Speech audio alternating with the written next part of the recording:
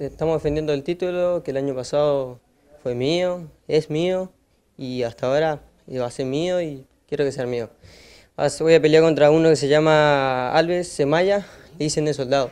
Muy bueno, muy técnicamente muy bien y bueno, espero que, me vaya bien. A ver, vos sos de acá de Posadas, ¿de dónde viene Alves?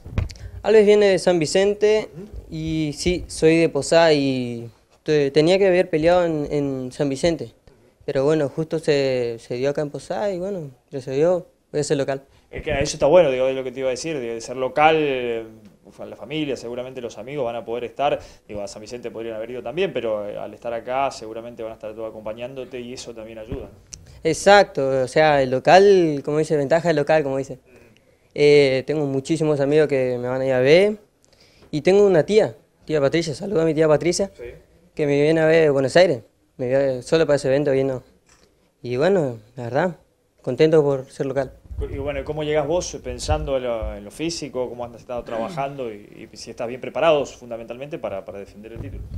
Sí, yo llego, llego, llego, físicamente y, y mentalmente estoy muy bien preparado. Obviamente, como siempre, hay nervios, pero sí, muy preparado. ¿Y qué sabes del rival que conoces? Decías, hablabas de un, buen peleador, el que te, que te, va a tocar como, como rival. ¿Qué, ¿Qué, conoces un poco de Alves?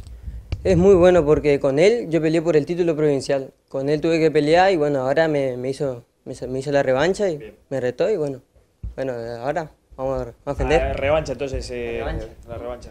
Como, corresponde también, ¿no? dársela para ver si tiene la posibilidad por ahí de recuperarse. Exacto, como corresponde. Muy buen competidor, así que la verdad como corresponde, como usted dijo. Bien, y en este caso, Marco, ¿cómo viene el año? Digo, la, planificación, esto es el primer eh, evento que tendrán durante la temporada, pero seguramente trabajando y pensando en lo que será el, 2019.